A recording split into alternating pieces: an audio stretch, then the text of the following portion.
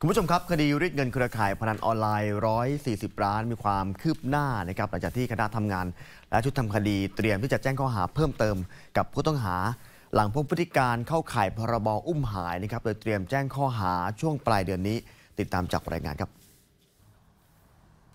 รองอธิบดีอายการสำนักงานการสอบสวนและคณะอายการ พร้อมด้วยพลตำรวจโทอัคราเดชพิมลศรีผู้ช่วยผู้บัญชาการตำรวจแห่งชาติ ในฐานะหัวหน้าพนักงานสอบสวนชุดใหม่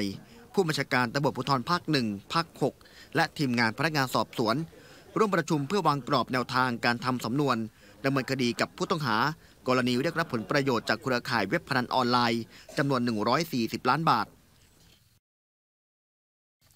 โดยมีตำรวจเกี่ยวข้องตั้งแต่ระดับผู้บังคับการตำรวจภูธรจังหวัดชลบุรี รวม 16 นาย และพลเรือน 13 คน ครั้งนี้เป็นการหารือครั้งที่2 หัวหน้าพนักงานสอบสวนยืนยันว่าการทำสำนวนมีความคืบหน้าไปมาก เรียกสอบพยานเพิ่มหลายปากทั้งพยานบุคคล พยานเอกสาร จุดเริ่มต้นของคดีชุดเฉพาะกิจในนามสปอสตำรวจภูธรจังหวัดชลบุรีนำหมายจับเข้าคนบ้านพัก 3 จุด เกี่ยวข้องกับคดีพนันออนไลน์ ในพื้นที่กรุงเทพนนทบุรี และสามารถควบคุมตัวผู้ต้องหาได้หนึ่งคน คือนายเป้ แต่ในเป้ถูกควบคุมตัวไป และแจ้งข้อหาที่สพจังหวัดชลบุรี และมีการเจรจากับผู้บังคับการตำรวจภูธรจังหวัดชลบุรี แจ้งในเป้ว่ามีทางออก เอ่ยคำพูดว่าเป้รักผู้การเท่าไหร่เป้เขียนมา จึงกลายเป็นวลีเด็ด และเป็นที่วิพากษ์วิจารณ์ของสังคม หลังจากนั้นกลุ่มที่ถูกเรียกเงินและแจ้งความที่สพคูคต เพื่อดำเนินคดีกับตำรวจ และผู้ที่เกี่ยวข้องและพฤติกรรมของชุดจับกลุ่มเข้าข่ายความผิดตามพรบอุ้มหาย ทำให้พนักงานอายการเข้ามาช่วยกำกับ และตรวจสอบคดีให้รอบคอบรัดกุม มาตราเจ็ดเนี่ยในตัวบทบอกว่าทำให้บุคคลสูญหาย สูญหายในที่นี้เนี่ยไม่ได้หมายความว่าสูญหายไปเลยเสียชีวิตหรือตามตัวไม่ได้ เพราะหลักการของกฎหมายเนี่ยก็คือการที่มีหน้าที่จับกลุ่มตัวเนี่ยจะต้องส่งพนักงานสอบสวนนะครับ และต้องแจ้งการจับกลุ่มตัวให้ทางอายการทราบนะอันนี้เป็นกฎหมายเลยนะครับะฉะนั้นเราจะมีศูนย์การแจ้งนะครับ ในกรณีที่เจ้าพนักงานตำรวจจับกลุ่มผู้ต้องหาทีนี้ถ้าเกิด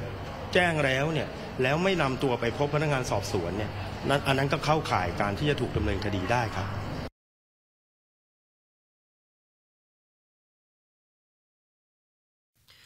คดีนี้ผ่านมาร่วม 8 เดือน จึงทำให้ถูกตั้งข้อสังเกตว่าการทำคดีล่าช้าเกินไปหรือไม่ เพราะมีตำรวจระดับนายพลเกี่ยวข้อง แต่คณะทำงานยืนยัน การสอบสวนเป็นไปอย่างตรงไปตรงมา ให้ความเป็นธรรมทุกฝ่าย และจะอยู่ในกรอบเวลาอยู่หลังที่ง้าวแต่ระหว่างสอบสวนอาจเกิดอุปสรรคบ้าง โดยเฉพาะตำรวจที่ทำสำนวน และอายการที่รับผิดชอบก่อนหน้านี้ เนื่องจากเป็นช่วงโยกย้ายปรับเปลี่ยนตำแหน่ง จึงอาจทำให้ไม่ต่อเนื่องคุณผู้ชมครับอายการและชุดพนักงานสอบสวน ตรวจสอบสำนวน และก็รวบรวมหลักฐาน จนสรุปเบื้องต้นนะครับว่าวันที่ 15 มกราคมนี้ จะสามารถแจ้งข้อหากับผู้ต้องหาความผิดพรบคอม และก็รวมทั้งสำนวนคดีที่ใกล้ครบถ้วนแล้วนะครับ โดยเฉพาะเรื่องของพรบอุ้มหายด้วยครับ เพราะว่าตอนนี้เนี่ยในชั้นเดิมเนี่ยมีการแจ้งข้อหาเฉพาะความผิดตามพระราชบัญญัติโทษครับความผิดตามประมวลกฎหมายยามาตรา 149157 นะครับ แต่พระราชบัญญัติปราบปรามการทรมานและสูญหายเนี่ยยังไม่ได้มีการแจ้งข้อหาใครเลยนะครับ ไม่ว่าจะเป็น